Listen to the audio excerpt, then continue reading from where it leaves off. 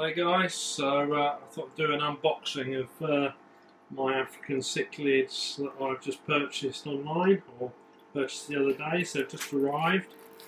Uh, so I'm going to try and uh, just open these up as best I can. Trying to hold the camera, unfortunately, trying to do this all myself at the moment. But came in a nice polystyrene box proper fish box. Uh, previous ones I've had have come in cardboard boxes with styrofoam wrapped around them, so uh, it's good to see that uh, these have been well and truly packed properly and sealed properly as well. So I'm uh, very excited to see these. Me just wants to rip the box open and uh, get into it. So. Uh,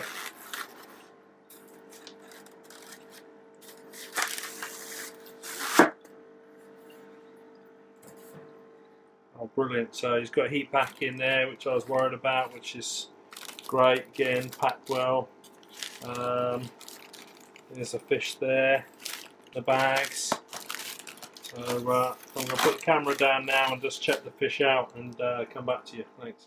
So there guys, um, I've got two bristlenose catfish in this bag. So that's uh, all looking at. So uh, here's another one bag in here. So can't remember which ones these were now. Um, I think these are my Chuiris. That's how you pronounce them. And these are the guys I'm really stoked about. So these are my uh, super red red top hongies. Uh, so yeah, all looking good in there. So I'm gonna now put this uh, camera down and uh, I'm going to uh, properly unbag these and get them acclimatized. The thing I'm really impressed with uh, unpacking these is uh, they've been not only put in the polystyrene box but they've been double bagged um, upside down. Uh, there's also some plastic inside, some shredded plastic inside to stop the fish from jumping and getting caught up in any bits. You know, uh, all these fish have, have been delivered in A1 condition. I cannot say how impressed I am with uh, you know the way this has been done and and these are the guys here that I'm after the uh, super red top hongi so they're going to get acclimatized. Um, I'm going to try and put this camera um, over here so I can actually oops sorry about that. I'll edit that out a bit.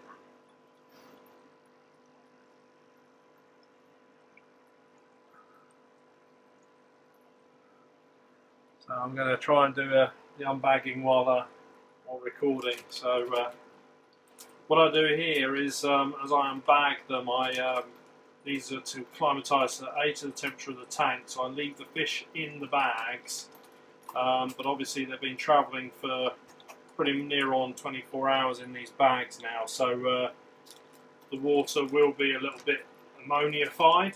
Um, they have been transported properly, then uh, the fish wouldn't have been fed for a good two couple of days beforehand, uh, before dispatch. So uh, they, they shouldn't produce as much ammonia in the bags and things, which is again a good thing for the fish.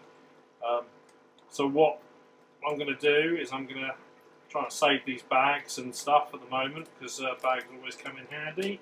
Uh, pull that apart a little bit.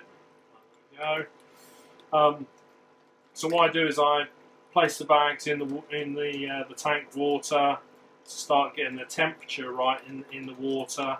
But I also put uh, a little cupful of the, the aquarium water in the, the, bags as well, and I'll gradually top that up over the course of you know uh, a number of uh, minutes or so. So it says on the bag there, it's quite good. It says to minimise shock, turn off the aquarium lights, which you can see I've done float the unopened bag in aquarium or pond, uh, open the bag by removing seal or band, roll the bag down from the open top to form a collar so the bag will float in the aquarium or pond without support. I tend to just use a, a closed peg for that. Um, Float the bag for approximately 20 minutes during this temperature equalization period. Regularly add small amounts of water from the aquarium or pond into the bag and then gently release the fish into their new surroundings. Uh, do not turn on aquarium lights for at least one hour. So I've already got these lights turned off in this aquarium and uh, you can see I'm used to doing this before already because uh, I have done this numerous times so uh, I am aware of trying how to to equalise these fish into their, their surroundings a bit better. So again just using a normal clothes peg uh, take out this uh, bit of plastic that's floating in the top there I've never seen that done before but I think that's a really good idea get a little plastic beaker cup so just take some of the aquarium water and just introduce some of that in there as well. I've also got an airline, uh, spare airline here as well which uh, I'll put some oxygen in the water as well in each of the bags for a while uh, just to try and help situation because they haven't had oxygen apart from obviously the, uh, the pure oxygen that the uh, seller would have put in there for me. So thanks very much Tony, really appreciate the way you pack these, fantastic job. Uh, I'll certainly be buying fish off you again in this manner. Um, and after my previous experiences where I've received dead fish and broken bags and you know wet cardboard boxes, it's uh, an absolute joy to see that these are being packed properly and, uh, and are they've taken a lot of care over over the fish's well, welfare, which uh, is, is crucial to me. So, as you can see, that's the first bag open. These are double bagged.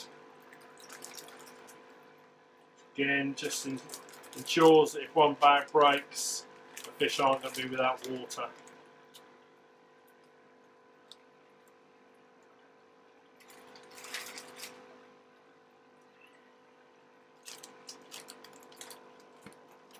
And the fish will colour up as well. You know, obviously they've uh, they've been in transport, so uh, it's a little bit difficult to see which one's which. Um, apart from obviously the red top hongies, uh, I think uh, the ones in the middle bag here are probably my elongatus tura, and these are probably my uh, king sizes here. So also got two bristle nose catfish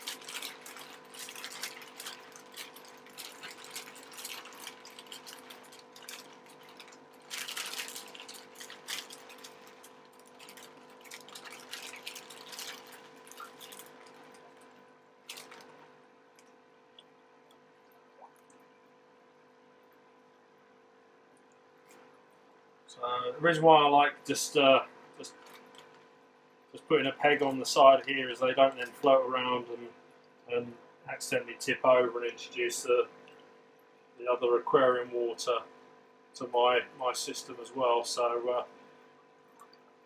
it's all about getting the fish acclimatized to your quality of water and also because they're, they're used to having the ammonia in their bags there for a while. So. Uh, Let's just transfer some oxygen in there, some air in there for a bit.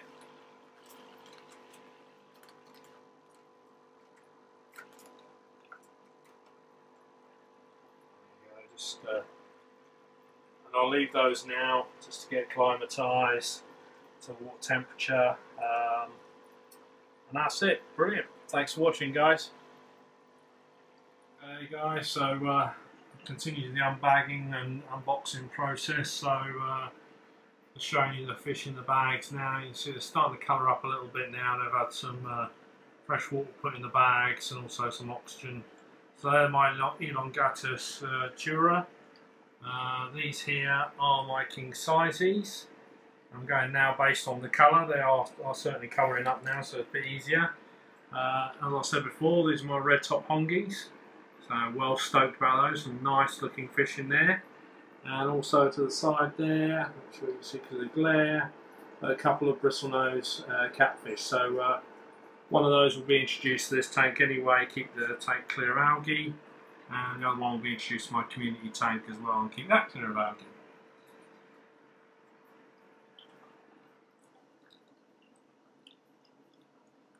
So these are my new edition uh, African cichlids uh, that I got yesterday, showed you part of the unboxing, so I just want to show you now them colouring up now, so they've, they've been in here less than 24 hours, but uh, they are certainly colouring up nicely now, so you can see uh, some nice stripage coming on.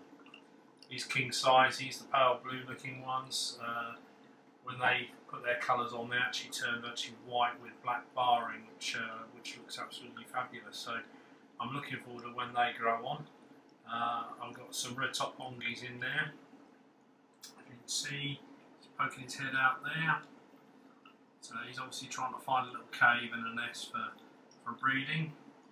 I've had to take one of them out, one of the males out. Uh, he was really beaten up badly this morning, so I put him in an isolation tank. Uh, I advise anyone that's that's got African cichlids to make sure you've got a hospital tank or a quarantine tank, as well as a, your normal main aquarium. Um, it can really be done cheaply just with a, a, plastic storage box, a heater, and a bubble up filter. It's it's that simple, um, but it allows you to just put your fish into a sort of sanctuary away from any um, aggressiveness um, until they, they heal. So that's what I've done with one of the red top hongi males. I don't want to lose any of those fish. Um, so I've segregated him off for the time being. But yeah, you can see these guys are, are really starting to colour up nicely. So more on that as the weeks go on. And thanks for watching. Cheers.